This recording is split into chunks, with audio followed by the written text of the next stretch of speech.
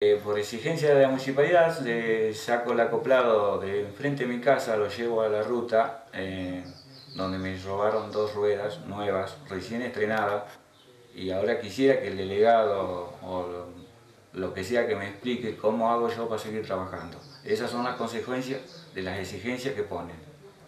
¿Hace cuánto tiempo que está esta disposición vigente? Y dos años, siempre molestaron. ¿Y hace cuánto tiempo que comenzaron estos robos? Porque el suyo es el segundo en poco tiempo. Hace 15 días, 20. Una ola de robo hubo, que nunca se esclareció ninguno. No solamente robos de goma, sino también No, otros hubo hechos. joyas, había desaparecido una perra que apareció, una perra galga, apareció a los dos o tres días, muerta de hambre, seguro que se escapó o la soltaron. Su caso particular eh, fue denunciado. Fue denunciado en Y- Pinto, eh, en Granada y en Junín. Hasta ahora no ha habido novedades. Ninguna.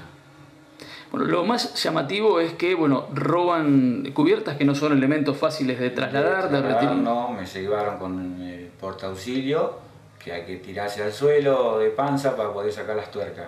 Tuvieron bien tiempo de sacarla, como si hubiera estado, esto ha estado premeditado, como si fuera zona liberada. El, el robo anterior ocurrió hace algunos días, también gomas de camión, en el mismo lugar. goma enfrente, también con que no hay eh, seguridad de nada ahí. No hay cámara, no hay nada. Todo bien sabido, no es de alboleo, no es casual. Para mí. ¿Tienen sospechas? Bueno, obviamente de que esto está armado, que puede haber Y eh, gente de la zona, del No lugar. confío ni de mi sombra. Ya, ya se sospecha de todo.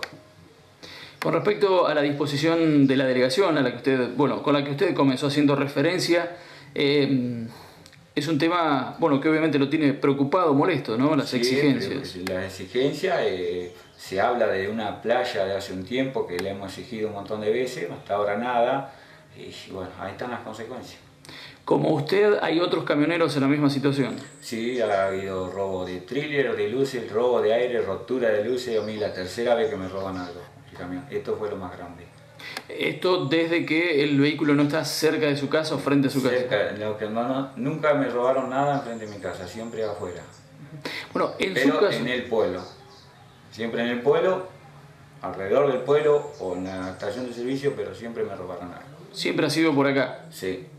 Bueno, esta molestia que usted tiene eh, surge a partir de el hecho al que está haciendo referencia o es desde el tiempo en que han comenzado las exigencias por parte de la delegación. Sí, ya venimos, ya he ido a- he tenido varias discusiones con la policía, con el coso, por la entrada de entrar por el tránsito pesado, que es imposible, hay días que es imposible transitarlo, digo, y ellos exigen, exigen, pero no ven las consecuencias. Nadie se hace responsable de las consecuencias que hay.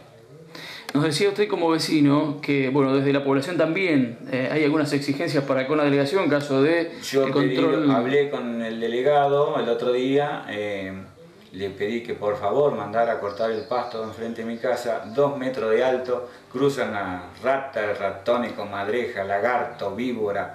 Eh, justamente acá en Granada estamos padeciendo de la víbora yarará. Bueno, es tiempo de exigencias también, Yo voy a empezar a exigir lo mismo, por eso llamo a la televisión porque no da, nadie da bola. Con respecto y para cerrar a su situación laboral, son dos gomas, nos decía cerca de 25 mil pesos. No sé el si costo. lo arreglo, el costo 25 mil pesos, no hay acá, no hay quien las venda, tengo que salir a buscarlo, tengo que agarrar mi vehículo, hacerlas traer con comisionista, no sé si lo arreglo con 25 mil pesos. Por lo pronto está parado. Estoy parado, de esa forma no puedo trabajar en ningún lado, no tengo para viajar. Me llamaron para viajar, voy a buscar la acoplado, no tiene cómo.